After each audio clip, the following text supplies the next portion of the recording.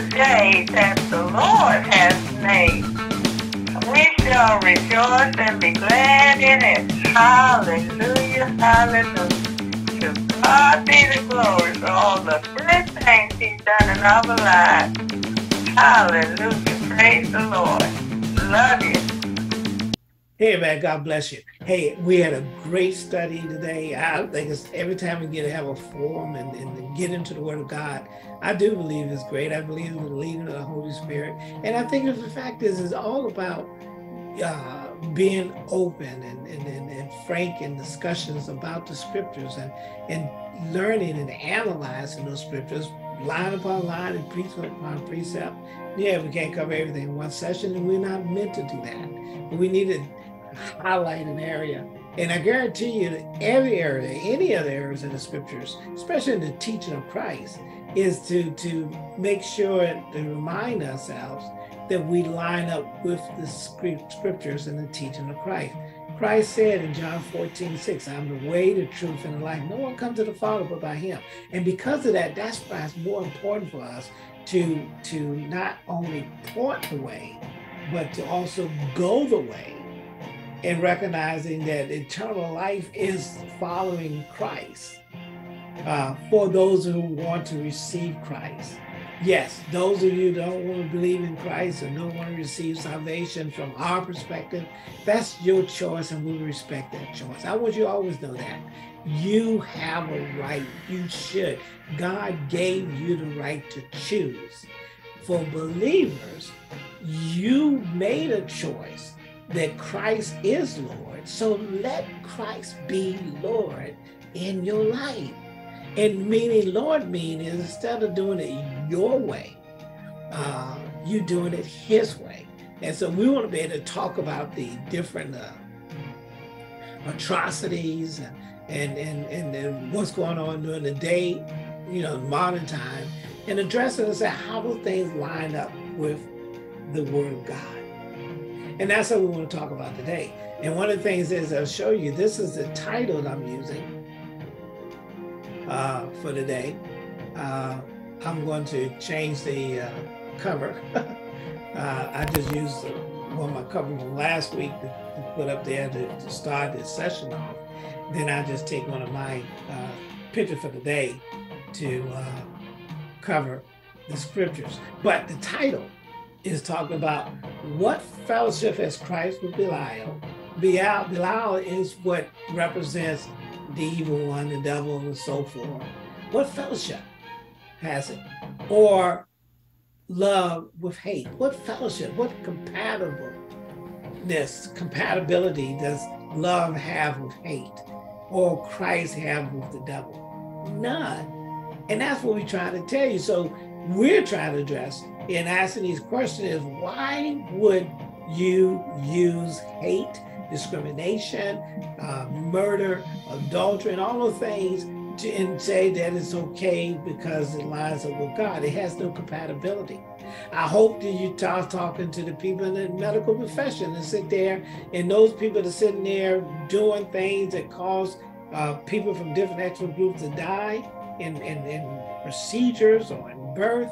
Uh, that ain't right. So talk to them, let them know your eternal life is on the line while you're sitting there doing something that you think lines up with God's will, but murder does not line up with God's will. Not doing the best that you can, just and, and, and or doing the less that you can is not lining up with God's will. But the whole point I just want to sit there and say is that we're not supposed to uh, do things that's not compatible with the teaching of Christ. And, and that's what I think we need to ensure people do that is to do the thing that's compatible with the teaching and encouraging other people to do what's compatible with the teaching. And and not to hurt people or put people down but to love one another. Amen? All right. So i think you're going to enjoy this session. I guarantee you will and I've even used some AI. My son gave me something dealing with AI, and I used that to put some scriptures down, and it gave some interesting comments or synopsis of those scriptures that I want to share with you. And I think we can continue to use those to, to get that non-biased to or at least less least biased uh, perspective of the scriptures. Amen. God bless you. I see you see, and don't forget to subscribe. Don't forget to uh, give comments when you can, and understand that Yeshua, Jesus, Yeshua is the Hebrew name for Jesus in the English translation or transliterations. So uh, I hope you enjoy the study and, and I hope you come back again and we'll continue to just put the word out from my understanding and from what the scriptures say. The key to it is the whole purpose of using the slides is to show what the scriptures say. And all I'll ask you to do is follow the scriptures. That's what you need to do. And that's what I believe is right. Amen. All right. And don't forget to subscribe. And now let's go ahead into our discussion that we had this Sunday. I'll check you when I see you later. Amen. Hope you enjoy. Yeah, I'm not the I'm not the Yes. Yeah, I'm not the killer. I'm not I'm not gonna beat you in the head with a stick. Yeah. But they I mean, look if if if my presence produces great sounds uh-huh. and and and and the, the atmosphere that I'm my presence is in changes. Come on. If if if the presence of God does all that, then it should show in us as well. it should the in mercy. should Yeah. change the atmosphere around us in such a way that those who come around us shall see Mm, how their righteousness pales to God's righteousness exactly. because And it is coming through us. yeah, And so the and and that is encapsulated in the love that we have for one another. That should be the first witness to anyone and that's what people look at. presence of God that's Yeah. within us. And Yeah. then once they they uh, uh, are in the midst of us for any time frame, whether it be just a brief passing or or, or you know a, a minute to hours, the glory of God should be revealed Yes. within an individual. I, I, I tell you, and then once once once you find someone of like precious faith, hmm the joy in in, in in just sharing the knowledge that each have. Just like me, uh, uh, my voice tends to be higher than I think it is in my ears. Yes. You know, because there's a joy on the inside of me Come on now. that, that, that is expressed of, Yes, of what I've cultivated in the Mhm. knowledge of Elohim and Yeshua. Come on now. And, and just reading on that, you know, how it increases Mm, favor, it increases grace. Yes. So just in the knowledge of them. So Yes. that should be evident in each of us.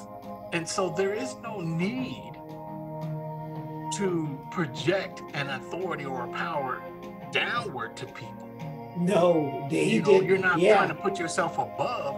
It should be, if anything, you should put yourself below to lift them up.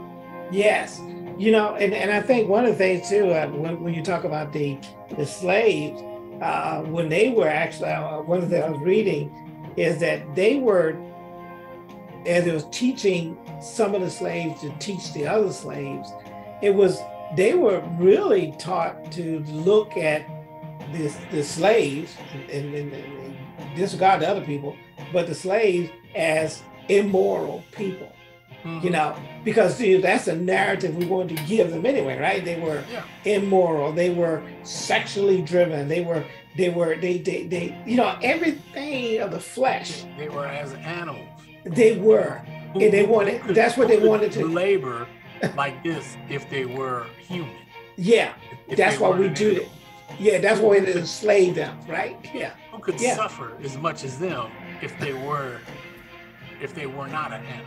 They're like a beast of burden where you could just just beat them into ex- complete exhaustion Yeah. and they still exist and Yeah. are able to come back again and do it over and over again. So they must not be human because They- we can't we can't do that. Yeah. They are, or they're ungodly, you know. Yeah. And, and then we would, so then we got to talk about their immoral behavior. And and that's how you see really it all the way up to the 60s where it that's what it seemed like. It's more focusing on the the the the uh, the sexual levels of immorality. Yeah. Not not the not the uh the, but the thing why the other group is showing their hate, their anger, their their oppression. Uh as if it was okay for them to do it because you deserve it. And and, and therefore we're gonna preach the thing because you deserve it. Opposed to preaching, hey, you've been redeemed, you've been you've been sanctified, you've been you've been told and ushered into the glory of God. You are an ambassador. In other words, you, in other words, I seem like they were like you're never teaching them that they are ambassadors Yeah. that they are enlightened uh, at all, you know, and then so you're unclean. that, that's almost like so you you're unclean people. Uh, but in reality, that's not what Christ was trying to. That was not the teaching of Christ. That was a teaching of manipulation, and that's why he runs so many people away today. You know. So let's go ahead back up here again, and go to the next one. But that was good, right? There should be a clear distinction There's a between distinction. if you're acting like in line with Belial or you're Yeah. acting in line with Yeshua. Exactly. Oh, my- hey, look, like like you said, when I when you use that word, Christ, that what Christ-like means that you're acting in line with Yeshua. Yeah. You know what I mean? Christ-like, not devil-like. And, and and and if you are the devil, it's not you're supposed to treat them bad. You're supposed to show them love. The opposite. All right, the next one. Let me see here. One second. There you go. What you got? 16. Okay. And one agreement hath the temple of God with idols. For ye are the temple of the living God. Really? As God has said, I will Mhm. dwell in them Mm, and walk in them. mm, I will be their God. mm. They shall be my people. Come and on. I man. can go on for the rest of the day. You can do you can do better what the computer can say. So what? go ahead with what the So, computer so said. let's go on. Paul continues his argument, drawing a parallel between the temple of God Mm, and believers. come on As now. believers, they are considered the temple of the living God, Mm, a dwelling for God's Spirit. mm, He reminds them that God has promised to dwell in them. Hold on, I got this in the way. And walk with them, forming a close relationship. that personal relationship. You are the temple. You know, and I like I like that even that parallel. What, uh, Paul is trying to say you are the temple of the living God. Remember, And the people, one of the scripture goes with that. It says, "Greater is He that's in you, in you, than is in the world." So, just in case you you want to say, "Where that where that where that come from?" That's what the scripture said, and, and that's not just from Paul writing. That comes from the scriptures. Christ. That's why He sent the Comforter. He didn't send the Comforter to be on the outside of you. He sent the Comforter to be on the inside of you. Yes. You know. So, so also to, to go along with that, um, understand that the local church is not the temple of God. No, Don't get it not the building. Not get into it. You're bringing the temple into that facility. You are the temples. Uh, Yeah. Yeah. So, so you know, if if you keep that in mind, then your behavior will be the same outside of the temple as it is on the Oh, inside. what's on the inside? I like that that. you Yeah. have when you come together on the inside Come on now. should not leave you Woo. when you leave that temple. Come on. I like that. And, and and that's why I think that's why when we talk about oppressing one another, right? That that we're first of all, you rep- once again it goes back to representing who you're representing. Yeah. if if if if either what's in you is the devil in you or God is in you or is Christ in you. What's in you? Because what's in you is what's going to be manifested or manifested, excuse me, Yes. on the outside. That's why the Bible said God looks at the inward. God looks at the heart. Heart, the heart of man. Come on now. You know, and he used that, and and you're going to go back to the Old Testament. That's what he even did when he selected a king Oh yeah. for Israel. Oh man, somebody who you would thought would be someone that God would put in charge, the biggest, the strongest. You know, you think that that's who God would choose, and that's who man pretty much chose. That what man pretty much chose. Yes. But God said no, no. there is someone that I see their future Yes. in their present, Well, who I will raise up to be a king for you.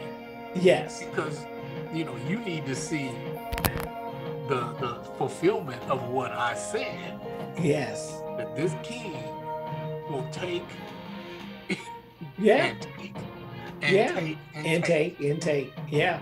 Yeah. and and and you will have no choice other but to give to give to give including to give your very life mm-hmm.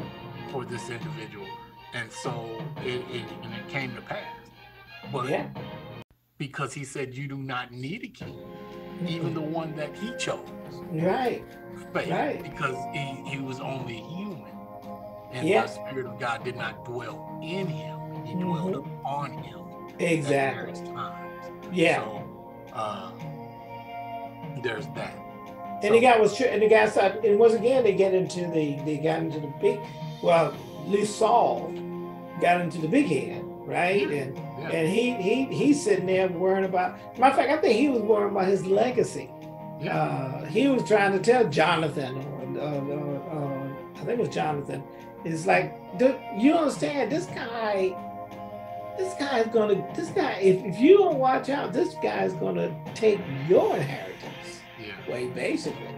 You know, so I'm trying to defend that. That's that's why I really got to say I am the king. So you know, he is the king. And David even said, "You're the king. You're the anointed one. You've been chosen by God. I'm not trying to. I'm not. I will not I- I move you out of the way."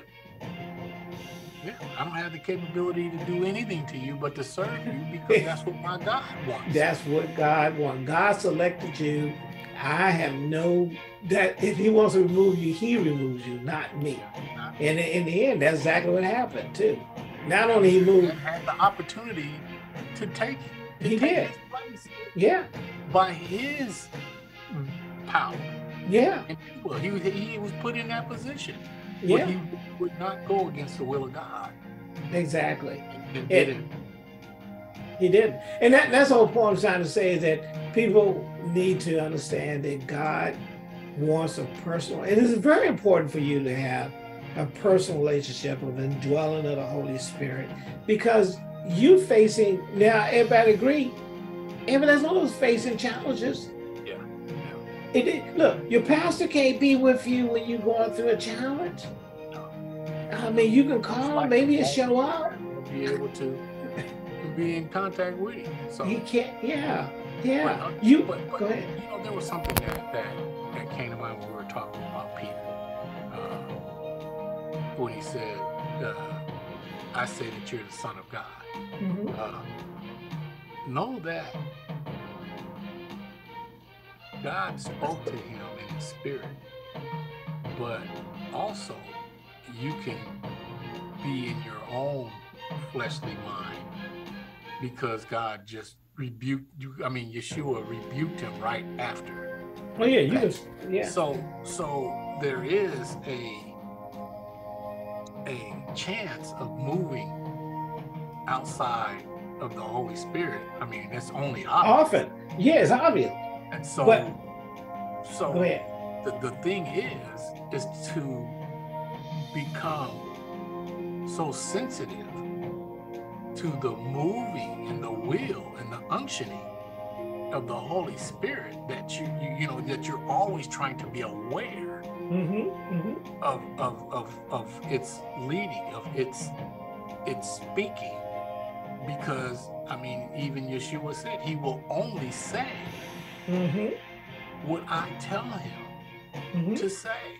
So then, if you're only listening to that, how could you be out of the will of Christ?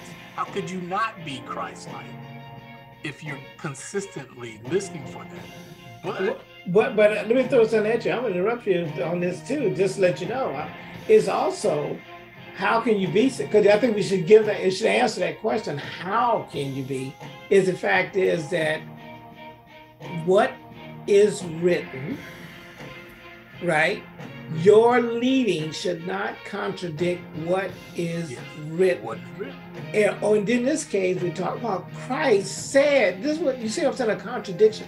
In other words, he said, Get behind me, Satan, to Peter, is because he was first telling them what was going to happen. Right? He so so anytime, just like just like when God told Adam and Eve, you shall not eat of this tree, because if you today you eat thereof, you shall surely what? Die. I just gave I just told you what I That gave was- you I gave you the guidance. That was the first scriptures of their Bible and the Yes, sir. that they. Come on now. And that's what we're talking about. You're talking about being sensitive to the Holy Spirit, right? And the Holy Spirit is going to stay within line of the scriptures, is what I'm trying to say. Hey, I hope you enjoyed the study, the session we just went through. I will break those sessions down. I have broken, broken those sessions down from A, B, C, D, whatever it takes to finish them out. And then I just uh, post those on a daily basis throughout the week. And I will share those as much as possible to everybody uh, on Facebook and uh, on YouTube. And, you know, I will send some out on text. I normally try to send the ones on text on Monday, Wednesday, and Friday, and tell you Sunday, Monday, Wednesday, and Friday uh, of the session that we had. So uh, I just hope you just capture the whole point is that we need to be able to actually focus on the Word of God and practice the Word of God and stop fellowship with people that teach things that's contrary to the Word of God. Now, I tell you not to go and minister and go preach the gospel to to to the to the world, but when you actually have people who profess to be Christians and then they try to teach things contrary to the scriptures, not contrary to your ministry, your denomination, uh, or whatever somebody else tells you, what you want to do as an individual is responsible for doing what the scriptures say. Be led by the Holy Spirit is all we want to be able to do and emphasize in this teaching. You know, so uh, there's no the title uh, as we gave here, and I'll show it again just to close out with it. The title, and I'll update the title in itself, but it says, What fellowship has Christ with Belial? Belial represents the devil, or love with hate. What, what fellowship do those two have? They don't have any. Uh, and that's why you want to make sure that you don't demonstrate the things or the the, the, the, the tools and manners of the devil. You want to demonstrate the tools of Christ, the love of Christ, the teaching of Christ. You know, I, I put in a song in this and it say, yes, you know, you remember that old song, the Christian song, children's song that says, you know, yes, Jesus loves me. Uh, because the Bible tells me so. And I put in there to saying is that, that that's an incomplete song. And I know it's a children's song. And I just encourage the people to add some other things to the song, such as, Yes, Jesus loves you. Yes, Jesus loves you, for the Bible tells me so. Yes, Jesus forgives you. Yes, I forgive you because the Bible tells me so. You see what I'm saying? For us as believers, mature believers, is the fact is what does the Bible tells us so, right? And that's that's what I want you to remember that. And then also this scripture here that uh, I mentioned in the introduction, well, I'm, I'm mentioning now, is uh, in the closing, excuse me, is James 3.11. Does a fountain send forth at the same place sweet water and bitter? Verse 12, can a fig tree, my brothers, bear olive berries, either a vine, fig? So can no fountain both yield salt water and fresh water. So when you got hate, everything else coming out of you, you ask yourself, how's that? If you're supposed to preach the gospel, which is good news, if you're supposed to operate in love, which is the doctrine of the gospel, but you're showing hate and you're showing discontent, you need to check yourself. And you got to sit there and say, I'm following the will of God or following the will of man or myself. I said follow Christ. Amen. God bless you. I hope you enjoy the study. And then uh, I hope you see the rest of the segments as we go along do it. Amen. God bless you. And I appreciate you listening. And I'll see you when I see you. Bye-bye. This is the day that the Lord has made. We shall rejoice and be glad in it. Hallelujah, hallelujah.